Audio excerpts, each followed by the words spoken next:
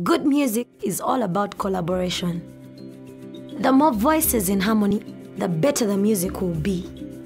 And that's how I feel about protecting our wildlife. Our elephants, lions, and gorillas are facing so many threats. We need our wildlife. It brings in the tourists who bring in the money.